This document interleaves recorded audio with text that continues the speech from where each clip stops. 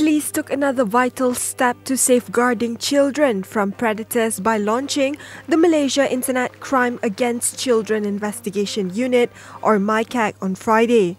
The unit is tasked to overlook all internet related mediums of communication used by predators to upload, share, and promote child pornography or targeting of children.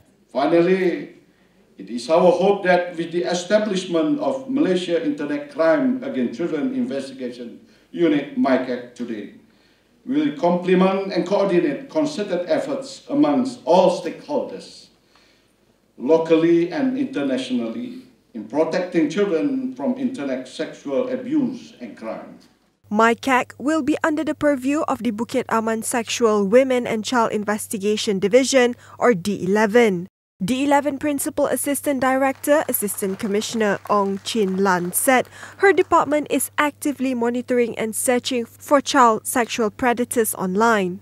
We have been forming it. We have been monitoring it since 2014. The official launching is only today. But over the years, we are doing uh, the investigation already. We, are, we, we have a special uh, system for law enforcement agency to monitor the upload and download. And we have to uh, uh, filter it. With the cooperation of the international counterpart, we have a software where we monitor and we filter. And then um, uh, we take actions against these people. The formation of the unit also saw liaison officers from foreign law enforcement agencies like Australian Federal Police, US Federal Bureau of Investigation, and US Homeland Security Department come forward to share information and brief MICAC officers.